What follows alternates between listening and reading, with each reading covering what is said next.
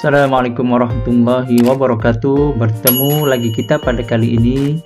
Hari ini Perbincangan kita berkaitan dengan teknik menjawab soalan novel 10 markah. Okay, Format baharu BMKSSM tahun 2021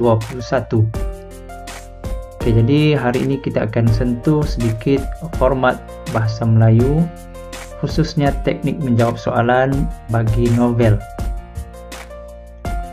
seterusnya. Okay, soalan uh, novel ini berada pada soalan 8 dalam kertas 2. Ya. Dan uh, kita sentuh sedikit. Okay, yang pertama, dua soalan akan diuji. Kedua, markah keseluruhan 10 markah. Kombinasi markah untuk soalan 1 dan soalan 2 tidak tetap. Okay, daripada 10 markah ini, kemungkinan soalan satu kalau dalam contoh item yang kita berikan ini soalan satu empat markah dan soalan dua enam markah. Tapi dalam keadaan-keadaan tertentu kemungkinan boleh berlaku uh, soalan satu tiga markah ataupun uh, soalan dua tujuh markah. Ya ataupun uh, soalan satu lima markah dan soalan dua lima markah. Oke, jadi maksudnya di sini kombinasi markah untuk soalan satu dan soalan dua tidak tetap. Okay, soalan tiga. Okay, markah bahasa. Soalan satu tidak ada markah bahasa yang khusus, tetapi berdasarkan deskripsi pemarkahan. Okay, soalan dua. Markah bahasa maksimum dua markah secara holistik. Okay, penilaian secara holistik. Oke. Okay. Kita teruskan. Empat bentuk soalan. Soalan 8 Nombor 1. Pemahaman petikan novel berdasarkan petikan sebuah novel daripada mana-mana novel 4 zon.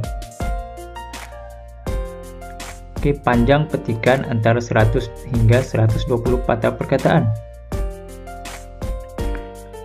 Okey, jadi maknanya ada petikan diberikan dan jawab soalan pemahaman berdasarkan petikan yang diberikan. Okey.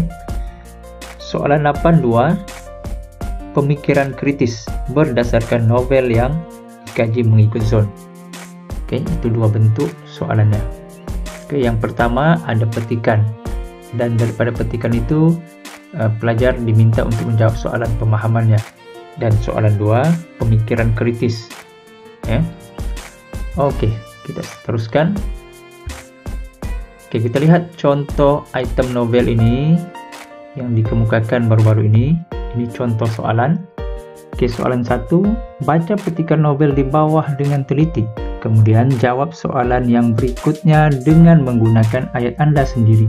Okey, ini petikannya dalam anggaran 100 hingga 120 patah perkataan semua.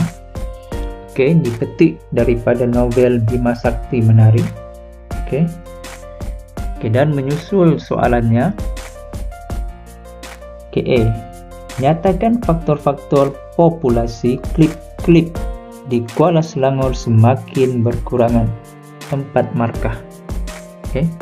Jadi, pelajar perlu menjawab soalan ini berdasarkan petikan yang disediakan. Okay.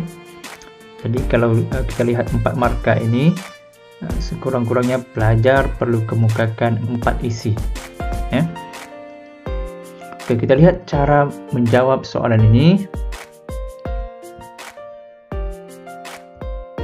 Oke, ini contoh cadangan jawapan.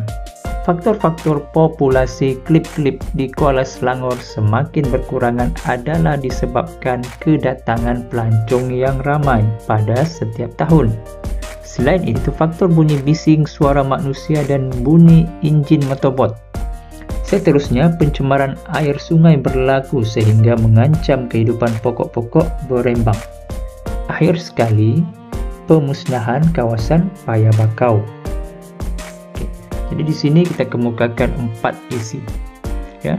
Oke, jadi itu empat markah berdasarkan empat isi yang dikemukakan yaitu kedatangan pelancong, bunyi, bising, pencemaran air, dan juga pemusnahan kawasan paya bakau.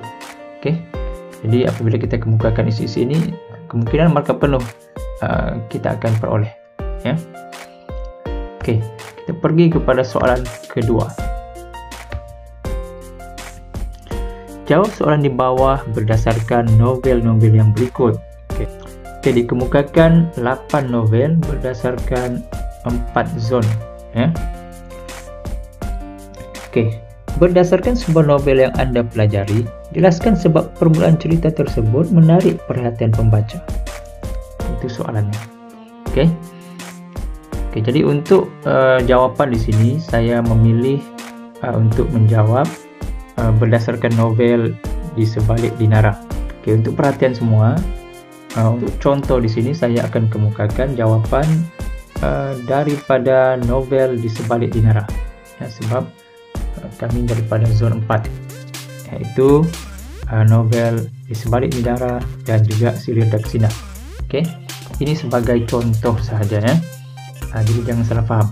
Jadi kalau dikemukakan soalan satu ataupun nombor satu tu daripada petikan tadi daripada uh, zon satu, ya jadi soalan dua pun uh, semestinya novel-novel daripada zon satu, ya bukan daripada zon dua ataupun zon tiga zon empat. Ini hanya sebagai contoh sahaja. Okey. Okey, contoh cadangan jawapan.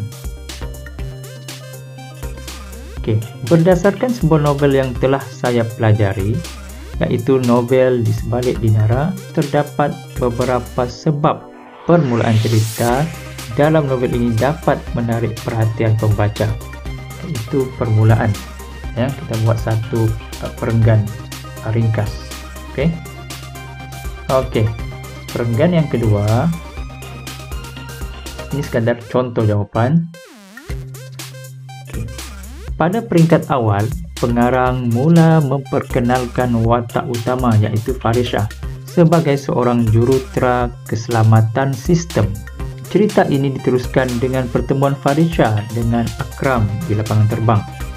Salah satu tujuan pengarang mengetengahkan pertemuan tersebut adalah untuk memaparkan kecanggihan teknologi melalui jam tangan yang dipakai oleh Akram yang juga merupakan pusat kawalan elektronik pribadi Akram. Tentunya pemaparan peralatan canggih ini akan menarik perhatian para pembaca. Okey, itu perenggan yang kedua untuk mengemukakan isi. Ya, sebab apa? Um, cerita ini menarik pada awal penceritaan.